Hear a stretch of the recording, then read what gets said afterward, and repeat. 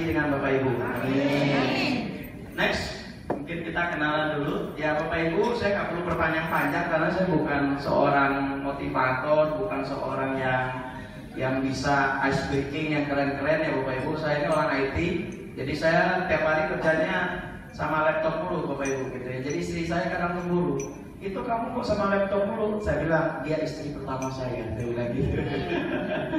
Oke Bapak Ibu, saya di kripto ini di IT di blockchain sudah 10 tahun. Ada yang sudah 10 tahun di sini Bapak Ibu? Di blockchain. Ada? Ada orang IT di sini? Oke, next saja Pak, karena kita mau cerita-cerita. Jadi kalau Bapak Ibu mau kenal lebih dekat dengan saya, buka handphonenya atau buka catatannya, ketika aja di Google Lionel Adam, ya. Bapak Ibu akan menemukan saya itu minimal fotonya seperti itulah, banjir di, di Google ya. Tapi nggak itu saya nggak pengen promosi diri ya, next saja dulu Pak.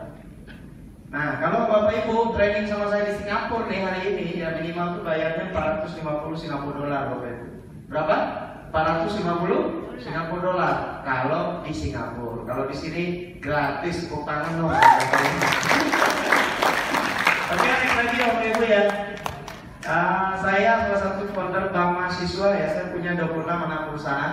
Pak ini salah satu dari anak perusahaan kami yang mudah-mudahan bergerak bisa membantu Bapak Ibu kembali sejahtera karena habis diterpa oleh COVID. Ngaruh nggak COVID di Makassar Pak? Ngaruh nggak? Kalau saya Bapak Ibu dari 26 anak perusahaan 16 tumbang Bapak Ibu. Hotel tumbang, travel tumbang, IO tumbang, eh, advertising saya tumbang, baju batik saya tumbang, levis saya tumbang. Ya, dari ada 16 perusahaan 400 karyawan harus di PHK karena adanya COVID Bapak Ibu ya. Tapi mudah-mudahan dengan adanya Global bisa bangkit lagi ya Bapak Ibu ya. Next. Next lagi. Nih saya punya ada 26 perusahaan nih, perusahaan saya semua Bapak Ibu. Jadi mohon maaf Gloko ini salah satu untuk bisa bantu Bapak Ibu aja lah. Nah pertanyaannya kenapa kok Bang Adam baru umur 30 tahun udah bisa perusahaan sebanyak itu? Nanti saya ceritakan. Next. Nah, tahun 2012 Bapak Ibu, saya ini orang ganteng bersertifikat di Sumatera Barat Bapak Ibu. Ya, jadi suka nggak suka Bapak Ibu harus akui itu. Apalagi bapak-bapak, apalagi muda-muda nih, mohon maaf, bapak lebih ganteng dari saya faktanya, tapi tak ada sertifikatnya. Kalau saya ada sertifikatnya Bapak Ibu 2012. Kalau di sini apa namanya Makassar ya? Kalau di Padang itu namanya Budauli. Kalau di sini apa namanya? Daeng dan Dara. Lewat Dara dan Daeng ya. Kalau di Bandung namanya Bujang Dara. Kalau di Bali namanya Dikit Bagus. Oke, next Bapak Ibu. Nah, saya 2016 balik dari Amerika, saya sekolah lagi di India namanya Entrepreneurship Development Institute of India tentang microfinance. Karena saya buka bank Bapak Ibu, bank untuk mahasiswa. Jadi namanya bank mahasiswa. Saya kasih pinjaman ke mahasiswa tanpa bunga. Saya pernah isi acara kalau nggak salah di Unhas nih di sini 2018. Jadi setelah dua tahun baru ini lagi Bapak Ibu saya hadir ke Makassar. Mudah-mudahan ini Bapak Ibu jadi manfaat juga ya. Next lagi. Jadi kalau Bapak Ibu eh, yang bicara di depan ini Alhamdulillah salah satu kebanggaan Indonesia juga Tepuk tangan Bapak Ibu. Jadi saya sudah isi acara tentang blockchain ini selama 6 tahun kurang lebih di Thailand, di Indonesia udah pasti, next lagi Pak, di Amerika, di Kamboja, di Thailand, di Vietnam gitu ya. Mudah-mudahan ilmu ini bisa bermanfaat buat Bapak Ibu di Makassar. Next. Dan Bapak Ibu jangan salah juga, saya ini juga pemecah rekor muri ya. Jadi Bapak Ibu nanti kita pecahkan juga rekor muri di Goldcoin ya. Perusahaan dengan sistem network blockchain pertama di dunia. Ya saya sudah pegang dua rekor muri, satu festival beasiswa terbesar di Indonesia namanya WIS. Yang kedua pengucapan sumpah pemuda dengan peserta terbanyak di Indonesia 30 ribu orang lebih. Next. Nah kenapa bisa? Nah karena kok bisa bang ada begitu luar biasa powerful saya juga mau dong. Benar nggak Pak Ibu? Jadi berawal dari 2010 bulan Februari saya dapat orderan website dari Amerika. Pak Adam, tolong dong nih bikinin website nih, gitu ya website profil perusahaan. Oke saya bilang, gitu saya kerjain dua bulan. Setelah selesai saya dibayar dengan 500 ribu eh 500 dolar sekitar berarti 9 jutaan ya sekarang. 5 eh, 7,5 juta. 7,5 juta plus 1000 bitcoin. Berapa Bapak Ibu? 1000 Bitcoin. Jadi Bitcoin ini 2009 diciptakan dan yang memiliki tahun 2010 itu rata-rata hanya programmer dan gamer di seluruh dunia. Jadi kalau Bapak Ibu udah punya Bitcoin waktu itu minimal Bapak Ibu mendapatkan next kalau 1000 Bitcoinnya kalau hari ini mungkin sudah 220 miliar Bapak Ibu. Kalau harga hari ini 450 juta satu koin, mungkin Bapak Ibu sudah punya uang 450 miliar. Tepuk tangan dong Bapak Ibu. Next ya. Nah sekarang hari ini saya mau datang menjelaskan ke Bapak Ibu tentang apa itu Bitcoin, Litecoin, dan apa itu cryptocurrency. Ada di sini Bapak tulis Bapak Ibu? Oke, kita kuliah dulu boleh? Bapak Ibu datang ke sini Bapak Ibu boleh ya? Mohon maaf Bapak Ibu saya datang ke sini bukan buat nipu-nipu, mau cari lari duitnya Bapak Ibu enggak ya. Mungkin hari ini saya menjelaskan sedikit tentang apa itu cryptocurrency. Ada yang sudah kenal cryptocurrency sebelumnya angkat tangan? Yang sudah kenal? Oke satu, satu, dua, tiga, empat, lima. Yang sudah punya bitcoin angkat tangan? Angkat tangan punya bitcoin cuma satu orang, dua, cuma dua orang. Oke. Yang punya litecoin ada? Yang punya goldcoin ada? Aduh, Bapak Ibu harus punya nih. 2011 Bapak Ibu saya bawa Bitcoin ke Bali dan cinta Bitcoin ditolak Bapak Ibu. Akhirnya Bitcoin saya bawa ke Cina 2014 dan 80 persen hari ini Bitcoin dipegang oleh orang Cina Bapak Ibu. Jangan nyesel ya. Ngapain dulu cinta Bitcoin ditolak? Ya. Hari ini jangan sampai cinta Goldcoin ditolak lagi ya Bapak Ibu. Nyesel nanti semua itu. Oke ya. Saya hari ini mau jelasin mungkin pakai Oke Bapak Ibu, yang pernah ikut yang pernah kuliah IT di sini ada? Ada yang kuliah IT? Kalau ada nanti bisa jadi tim saya, saya rekrut ya.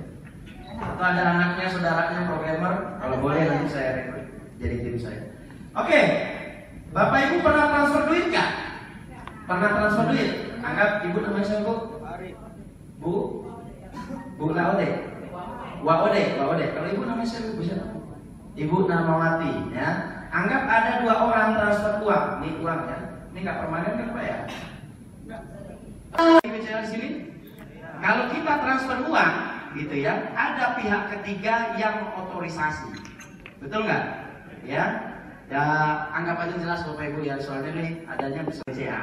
Begitu si A mau transfer uang ke si B, maka di sini pihak ketiganya ada Bank Indonesia namanya. B. Oke, okay. Si cekin dong di BCA ini ada nggak namanya si B, gitu ya? Kalau ada kasih tahu. Tapi itu dalam hitungan sepersekian. Atau yang bisa nganjirin janji setiap hari sekian persen, persen itu nggak ada itu. Ini hanya aset digital, ya. Begitu si A, ini tadi udah kelihatan Bapak Ibu ya, ini si A, ini si B. Ya, ada si A dan ada si B. Transfer uangnya BI adalah pihak ketiga, betul Bapak Ibu? Pihak ketiga yang motorisasi. Kalau di kripto sama, ada si A, ada si B mau transfer uang, ya, transfer uang. Tapi di sini tidak ada pihak ketiga. Lalu gimana? Kalau nggak ada pihak ketiga, benar nggak Bapak Ibu? Pihak ini artinya sebuah lembaga otoritas yang bisa monopoli. Sama dengan Bitcoin, POW namanya, Proof of Works. Nanti apa itu nanti brandingnya panjang itu kan. Nah mungkin ilmu 10 tahun saya kasih dalam waktu cuma dua jam muntah-muntah Bapak Ibu nanti Oke, jadi walletnya itu kalau Bitcoin kenapa dia mahal? Karena penggunanya lebih 100 juta seluruh dunia. Berapa?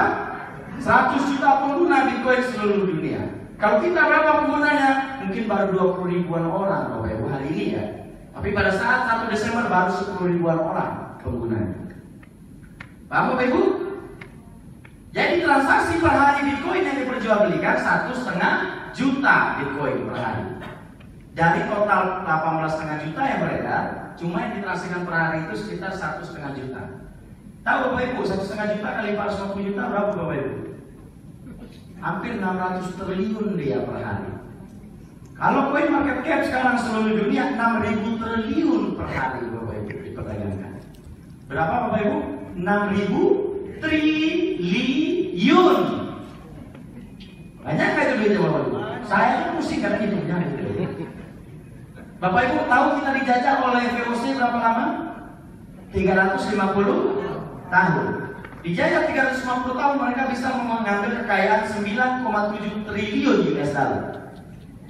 Berapa rupiahnya? Sekitar 111 ribu triliun uang hasil bumi Indonesia ini dibawa ke Belanda. Bapak Ibu tahu kayak itu? Nggak belajar itu? Ya, saya, saya jadi dosen Bapak Ibu hari ini, ya kan? Tenang dong. Jadi VOC Bapak Ibu 9,7 triliun ya menjajah kita berapa lama? 350 tahun. Cryptocurrency Bapak Ibu lahir OEM itu 2009 sekarang baru 11 tahun umurnya sudah tembus 1 triliun US dollar dalam waktu 11 tahun. Satu triliun US dollar mau nggak rupiah berapa Bapak Ibu? 15 ribu triliun. Berapa? 15 ribuan. Kalau kalau kurs sekarang 14.300 berarti 14.300 triliun rupiah. Kalau itu ada lunas utang orang Indonesia harusnya Bapak Ibu. Kalau punya Indonesia sekarang punya duit segitu lunas utang Indonesia harusnya. Tapi Indonesia ini kaya kaya Bapak Ibu. Dijajah 110 ribu triliun aja belum habis. Ya kan? Makanya buat orang Indonesia itu rata-rata pemalas Bapak Ibu. Maaf ya. Orang Indonesia itu rata-rata pemalas pemalas, pengennya yang instan. Ada bisnis baru, pengen buk buk buk buk. Ya kan? Ada bisnis lagi lagi buk buk buk buk ketipu lagi. Akhirnya kayak Pertamina terus kembali ke nol ya kan? Ada yang merasakan angkat tangan, ada yang merasakan bertanggung Bapak Ibu. Jujur, harus berani jujur ya. Saya nggak bilang kalau ini pelabuhan terakhir Bapak Ibu, tapi saya bisa garansi ini yang benar. Saya bisa garansi. Lalu Padam, apa bedanya Bitcoin dengan gold? Kecepatan transaksi dan teknologinya. Kalau Goldcoin ini koin ketiga yang lahir di muka bumi, Bapak. Koin pertama namanya Bitcoin. Koin kedua namanya Litecoin. Koin ketiga 2013 namanya Goldcoin. Ya. Tahun 2013 itu barengan lahirnya Ethereum. Ada yang kenal Ethereum? ETH? ETH itu yang bikin bocah 19 tahun Bapak Ibu. Goldcoin yang bikin bocah 21 tahun. Sama-sama bocah. Tapi rata-rata mereka jadi miliarder. Mau ketemu sama orangnya nanti saya ajak ke Amerika. Boleh Bapak Ibu ya? Oke. Okay. Next lagi. Ya. Next dulu. Next lagi ini nggak usah karena ini terlalu lama kita ya. Nah, kalau Bapak Ibu mau buka coin market cap tentang gold apa masa sih? Gold coin ini udah dari 2003 100 rupiah ke 15 juta dalam waktu 3 tahun mana? Udah susah sekali mengontrolnya. Nah, kalau gold coin baru dua pasarnya, ini masih bisa dikontrol harganya. Tapi kalau semakin ramai nanti udah juga nggak bisa terkontrol. Maka kita butuh satu juta user, satu juta guardian goldcoin yang akan jagain harga goldcoin sudah naik nggak turun-turun. Ya, Bapak Ibu masa mau harga goldcoin turun? Pasti pengen maunya naik, benar nggak? Kalau beli sendiri itu orang satu juta orang mati saya Bapak Ibu 2700 tahun baru saya dapat. Satu saya akan kasih tahu ilmu fundamentalnya aja dulu, ya. Kalau saya cari sendiri 2700 tahun. Next. Anggaplah Bapak Ibu, saya sekarang punya modal 100 miliar. Kemarin saya jual Bitcoin saya 200 waktu di Bali. Tanggal 9 10 Januari dihadirkan oleh orang-orang seperti Bapak Ibu. Jadi kalau Bapak Ibu besok ke Bali, mana ceritanya? Cerita dengan 40 orang itu yang menyaksikan saya goreng Bitcoin depan mata mereka. Ya. Jadi saya jual 200 Bitcoin dapat duit 100 miliar Bapak Ibu. 100 miliar itulah jadi modal awal untuk PT Goldcoin Internasional dan Pulau Tepuk tangan dong Bapak Ibu. Saya ke Makassar ini bawa duit tuh Bapak Ibu tenang aja. Kita buka kantor di sini, buka trading di sini gitu ya. Jadi Bapak Ibu, kalau saya dapetin satu juta orang, ini baru user acquisition ya, download aja. Kayak Bapak Ibu di download sekarang ada seribu, namanya user acquisition baru download. Belum membeli dan belum menjual. Baru download saja. Berarti kalau download saja ada dua cara saya untuk Bapak Ibu bisa mendapatkan satu juta orang. Pertama konvensional, betul? Yang kedua network atau silaturahmi atau jaringan. Kalau saya pakai konvensional, anggap kita hitung 50 miliarnya otomatis saya iklan di TV, di YouTube, dan itu akan saya lakukan. Tenang aja Bapak Ibu, ini kan kita belum berlomba. Nanti saya akan iklan di TV, di YouTube, di radio, di medsos gitu ya. Kalau iklan di sana, download GoPoint, download GoPoint, download GoPoint, kira-kira ada yang download? Ada, tapi kecil sekali kemungkinan, cuma sekitar 2 persenan. Kenapa? Ini apa ini barangnya ya? tiap pagi siang malam keluar download GoPoint download GoPoint gitu ya apa? Ini iklan apa ini gitu kan? Produk knowledge mungkin cuma ada dua persen. Duplikasinya mungkin ada. Mau nggak bapak ibu? Bapak ibu download. Tahu di TV download. Terus pengen ngajak orang. Pengen nggak bapak ibu? Mau nggak kira-kira? Pasti nggak mau orang saya tidak ngerti manfaatnya apa?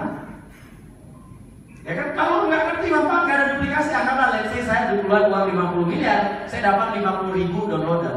Artinya untuk mendapatkan satu orang saya harus mengeluarkan uang satu juta rupiah.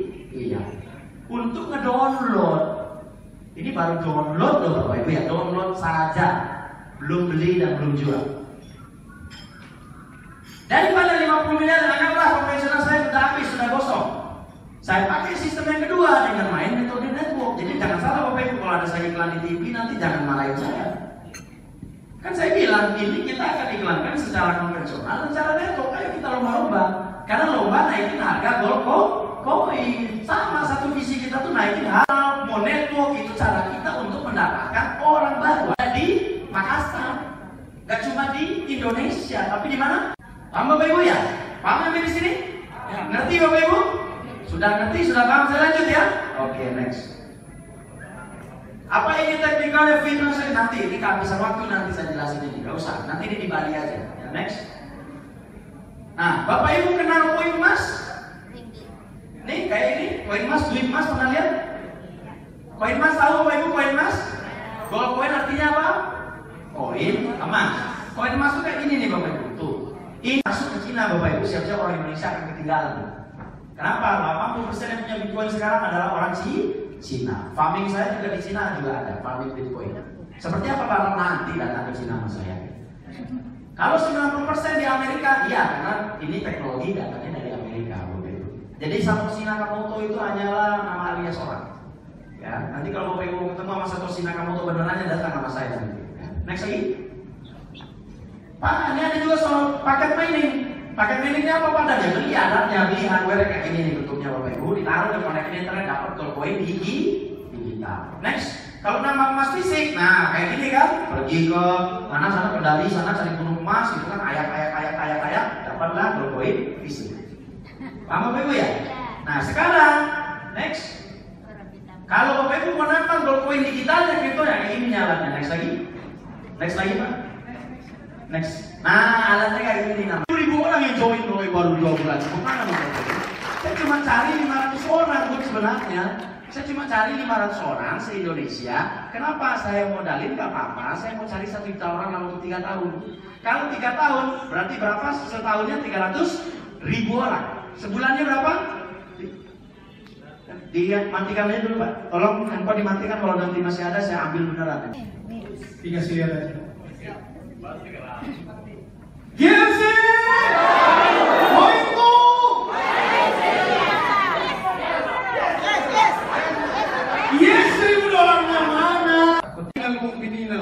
Orang mukmin yang kuat itu lebih dicintai Tuhan daripada yang lomek-lomek dia memang kayak ikan break. Kita mulai. Yes, Coba berdiri dulu semua. Bapak Ibu sekalian yang terhormat, saya undang Bapak Ibu sekalian untuk berdiri. Kita semangat hari ini. Di pertemuan perdana kita luar biasa ini. GLC Poinku Pasti GLC Yes seribu dolar Yes seribu dolar Yes seribu dolar Yes seribu dolar Yes seribu dolar Yes seribu dolar begitu Jadi kalau ketemu Yes seribu dolar GLC Ulangi GLC Biasa. kalau yang ini celana pendek aja santai, pakai tos oblong. Bapak Ibu pemegang sejarah Golkoin ini. Ini simbol Golkoin sudah masuk di Sulawesi ya Bapak Ibu ya. Oke, terima kasih. Silakan pertanyaan. Apa? Udah kayaknya cukup. Nah, sesi foto habis itu uh, silakan yang mau snap silakan ada. Ya, oke, terima kasih. Silakan. Minta izin kamera saya dong. Kamera. Gimana kak? Oh begini. Biar langsung masuk ke Nah ini punya owner dulu, punya owner dulu. Punya owner ini. Gak punya? Oke. Satu. Luar biasa. Ayo, sudah? sekarang. Masih ada lagi? Ayo. Ayo, ayo. Oke, tunggu sini. Kakak tanya dulu ya. Iya iya iya. Oke, mantap. Iya.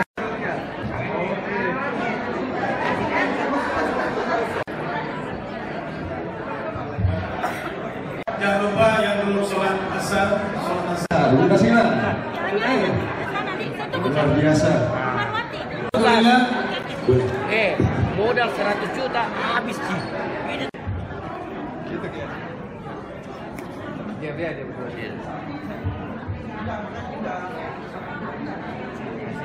ini ini. ini. Sini ke Pak Ustaz. Ini. Saya saya saya punya tugas ini menyakiti orang. Siap, siap. Saya garansi sehat nanti. Saya saya garansi surga. Apa kunci surga? Kunci surga. Jadi kripto itu memberikan kunci surga kepada orang yang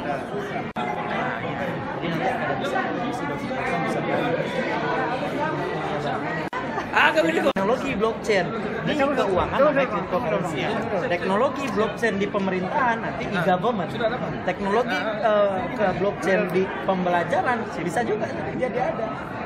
Gitu. Untuk akademiknya bisa, Pak.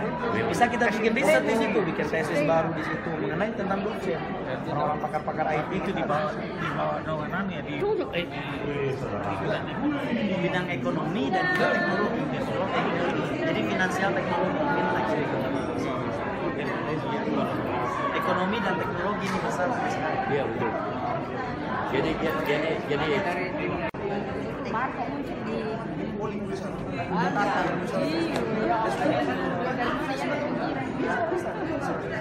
ini nih. Ini ini direkturnya apa? Saya bisa kecil. Oh siap. Saya YouTube. Siapa siapa? Kasih.